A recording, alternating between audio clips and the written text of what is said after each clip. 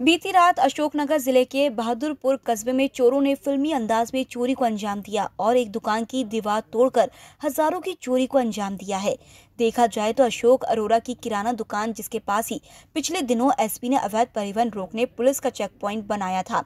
वहीं आज इन अज्ञात चोरों ने दुकान के पीछे से काफ़ी मोटी दीवार तोड़कर चोरी की घटना को अंजाम दिया है, जिसमें तीस हज़ार नकदी के अलावा दुकान की अन्य सामग्री भी चोर ले उड़े हैं।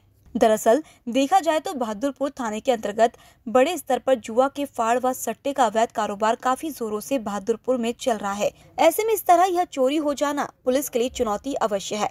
अब देखना होगा कि पुलिस इन चोरों पर और जुआड़ियों पर शिकंजा कस पाती है या नहीं, या यह चोर इसी तरह बेखौफ बने रहेंगे।